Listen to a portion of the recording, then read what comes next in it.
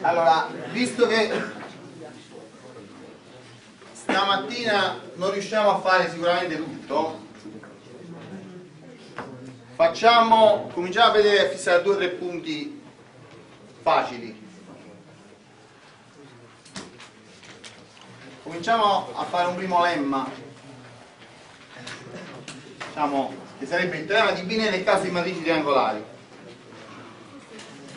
Se A, B appartenente a Rn per n sono triangolari superiori, cioè hanno i numeri di, mm, diciamo sotto la diagonale principale uguale a 0, allora questo è un caso particolare il determinante di A per B è uguale al determinante di A per di B va bene? la dimostrazione è banale? Perché guardate come è fatta la matrice. La matrice è fatta così A e la matrice è questa qui.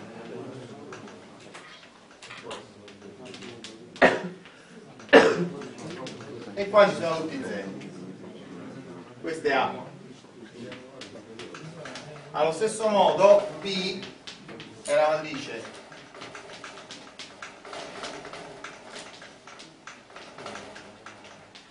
E qua ci sono tutti i zeri adesso andiamo a calcolare CIJ e supponiamo che l'indice di riga sia maggiore dell'indice di colonna cioè stiamo qua sotto sulla matrice C. Questo CIJ è uguale a somma per h che va da 1 a n di AIH di HJ cioè è uguale alla somma per h che va da 1 fino a j di AIH di HJ più la somma per, J, per, I, per H che va da J più 1 fino a N di B di AIH di HG. Ho spezzato questa somma in due pezzi. Oh, notate che qui H, in questa somma qua, H è più piccolo di J che è più piccolo di I. Quindi AIH ha un indice di riga che è maggiore dell'indice di colonna, cioè AIH sta qua. Ma se sta sotto la diagonale superiore vuol dire che tutti questi AIH fanno tutti 0. Questo, qua, sto, sto pezzo qua fa 0. E quindi sta somma fanno tutti 0. Eh, similmente qua H è maggiore o uguale di J più 1 che è maggiore o uguale di J che è fisso. Quindi stavolta è questo che fa 0 perché anche in questo caso stavolta questo non mi importa ma stavolta è l'indice di riga di B che è maggiore dell'indice di colonna di B e quindi anche questo qui. Stavolta è l'altro termine del prodotto che fa 0 quindi e anche questa somma qui si ride quindi il totale viene 0 questo se i è maggiore di j. Quindi quando vado a scrivere c come è fatta c? Eh, sotto la diagonale c'ha tutti i zeri come prima. Andiamo a fare invece CII CII CII è la somma per h che va da 1 a n di AIH BHI stavolta la scriviamo in tre pezzi. La somma per h che va da 1 a i-1 di AIH BHI più AII BII più la somma in questo primo pezzo più il secondo pezzo più la somma per h che va da i più 1 fino a n di AIH BHI come prima qui è 0A qui è 0 il termine di B, quindi queste due somme non compaiono. Questo però non è 0. Che ne so io se è 0 o no? Sono il prodotto di due elementi che stanno sulla diagonale di A per un elemento che sta sulla diagonale di B. Quindi alla fine viene AII BII. Quindi sulla diagonale principale cosa ci viene? Sul primo posto viene A11 B11, poi A1, A22 B22, fino ad arrivare ad ANN BNN. E qua non mi interessa, perché tanto per calcolare il determinante ormai è una matrice triangolare, quindi il determinante lo posso calcolare. Quindi adesso il determinante di, di C quanto fa? Fa A11 B11 per ANN BNN. Ma adesso fatemi cancellare il C che non mi serve più. Questi sono numeri. Allora i numeri commutano. Posso anche scrivere A11 ANN per B11 BNN allora questo è il determinante di A questo è il determinante di B e il teorema di Binet nel caso delle matrici triangolari è, dimo, è dimostrato. Quindi là è facile. Facciamo un esempio con i numeri eh, perché sennò uno non si fissano prendiamo questa matrice qua. 1 5, 0, 2. Poi prendiamo la matrice 3, 1, 0, meno 1. Fate il prodotto. Adesso vedete che qua mi viene 3, poi mi viene 1 meno 5 fa meno 4, poi mi viene 0, poi mi viene meno 2. Ah, guardate, 1 per 3 fa 3, 2 per meno 1 fa meno 2. Sopra non mi interessa, mi interessa quello sulla diagonale. Gli elementi sulla diagonale sono il prodotto dei corrispettivi elementi sulla diagonale di A e di B. Quindi quando vado a fare il determinante ottengo tutto questo prodotto, mettendo prima tutte le A e dopo tutte le B, ottengo proprio il determinante di A e il determinante di B. E il lemma è dimostrato. Oh. Bene. Eh, vediamo se abbiamo ancora 10 minuti. Abbiamo, anche 12.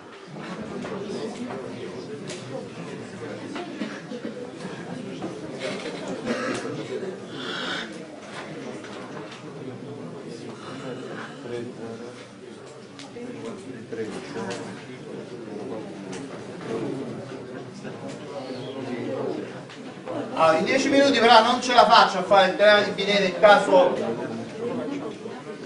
generale. Allora voglio fare prima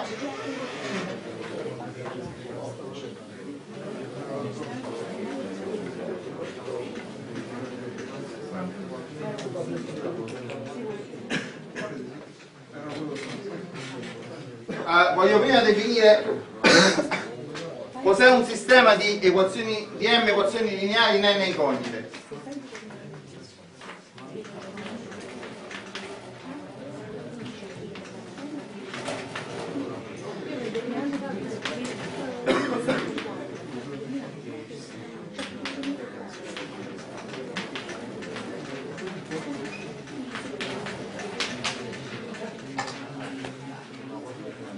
È questa scrittura qua.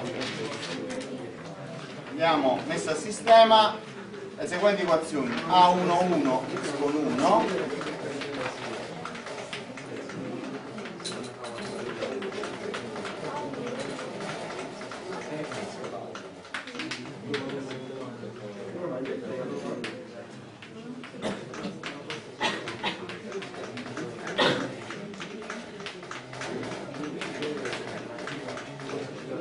come vedete uh, ho dei è una combinazione, io sto prendendo delle eh, incognite, x con 1 x con n, più correttamente si dovrebbero chiamare indeterminati, e ne sto facendo una combinazione lineare. ne faccio una prima combinazione lineare e dico che è uguale a un certo valore, poi ne faccio un'altra combinazione lineare e dico che è uguale a un secondo valore, faccio, di queste combinazioni lineari ne faccio m.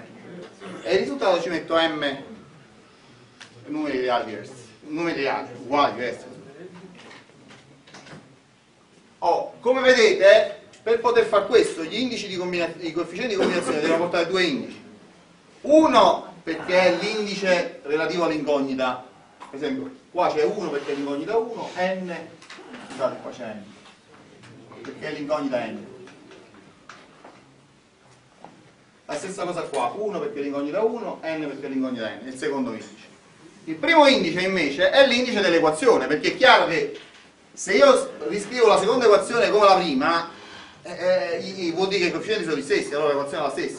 Allora i coefficienti devono cambiare. Allora nella prima equazione ci metto A1, 1, nella seconda equazione metterò A2, 1, x con 1 più, più A2n x con n uguale b con 2. Nella terza scriverò 3, 1, eh, eccetera, eccetera. Nell'ultima scriverò AM1 x con 1 più AMN x con n uguale b con n.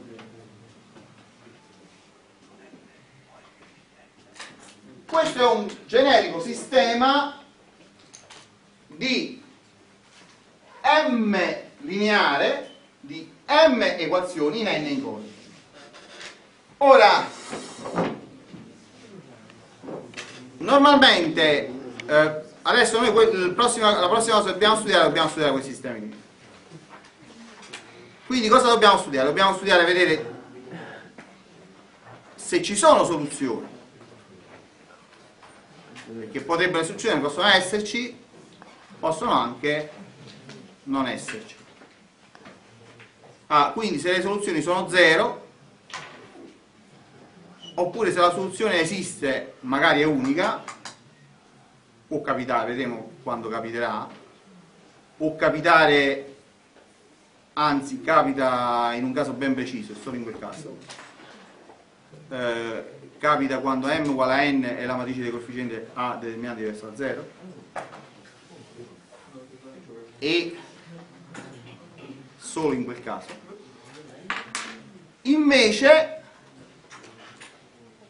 se non vedremo che se non, è, diciamo, se non capita nessuna di queste due cose cioè se il sistema è risolubile però la soluzione non è unica non è come eh, nelle equazioni di, diciamo, nei sistemi di, in un'incognita, ma magari eh, di due incognite, però di equazioni di grado 2, eccetera, che possiamo avere 2, 4, 5, 8 soluzioni, eccetera. No, qua le soluzioni o non ci stanno, o sono una, o è una, o sono infinite. È chiaro? Uh, perché vedremo che la, lo spazio delle soluzioni di questo, uh, di, questa, um, di questo sistema lineare è uno spazio affine, cioè il traslato in uno spazio vettoriale. Questo spazio affine, se ha dimensione 0 è un punto, e quindi la, la soluzione sarà unica, può anche, siccome l'intersezione di vari iperpiani, se gli iperpiani non si intersecano può venire insieme vuoto, ma può anche succedere che gli iperpiani si intersecano su una retta o su uno spazio di dimensione più grande. In quel caso lo spazio eh, conterrà infinite soluzioni. Sarà il traslato uno spazio vettoriale, quindi eh, cosa sarà finito? Sarà la dimensione. La dimensione quanto sarà? Sarà n meno il rango della matrice A. Però se il sistema è risolubile. Come si farà a vedere se il sistema è risolubile? Come si fa a vedere se il sistema si può risolvere? questo ci sono 5 minuti e mi basta, no? mi avanzano pure allora cominciamo a vedere condizione a, io questo lo posso scrivere in questo modo compatto. Ax uguale b. Cominciamo a vedere questo.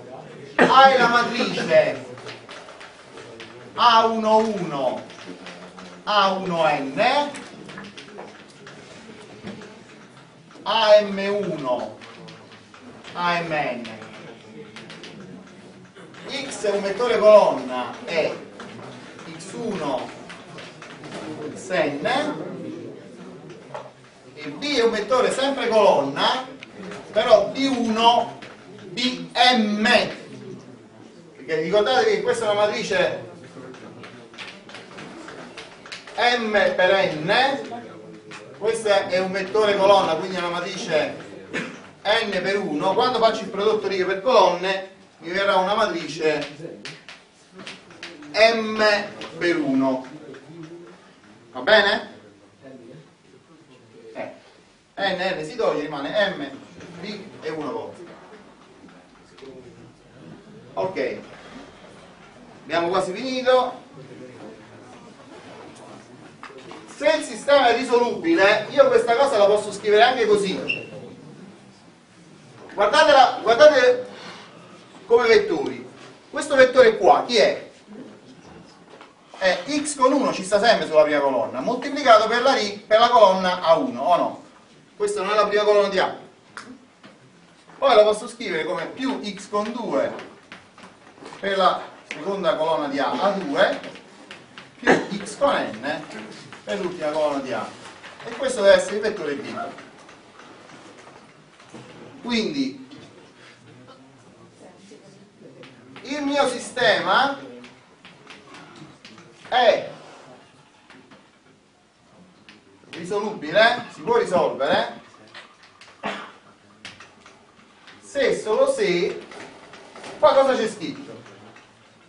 Eh, guardandola con una, con due, con n come eh, colonne fisse, non c'è scritto che una combinazione lineare di queste colonne fa B. Quindi se solo se B appartiene allo span di A1 a n.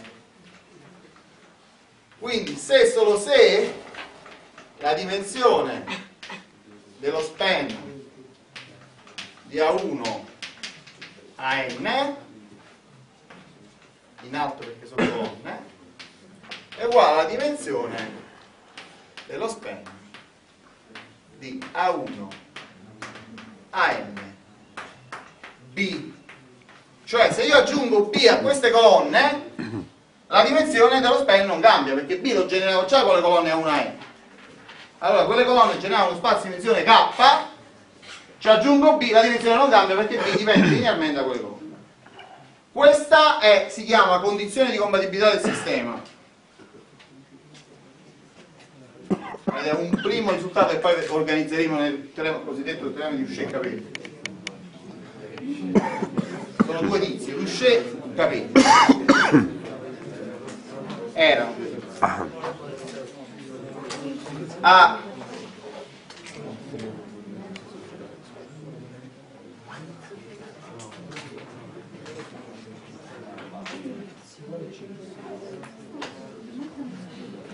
Uh, quindi, questo che significa? Significa, in termini di matrici, che il rango della matrice A deve essere uguale al rango della matrice, si chiama completa, cioè della matrice A alla quale aggiunge la colonna verticale B. Se ci aggiungo B, il rango non cambia. Questa è la condizione di compatibilità. Il sistema è, risolubile se solo se vale questa condizione. Quindi una prima cosa, io mi faccio la matrice dei coefficienti, faccio il rango, è 3, ci aggiungo B, viene ancora 3, sta a posto. È chiaro? Il sistema è risolubile. Poi dopo vediamo quale soluzione c'è. Bene, per oggi basta.